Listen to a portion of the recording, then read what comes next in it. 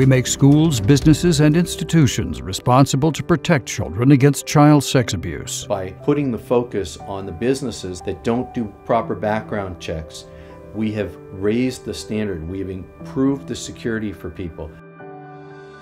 When we represent victims of violent crime and sexual assault, we put behind that case all of the resources to help our clients obtain the full measure of justice. Leighton Law, serious lawyers for serious cases.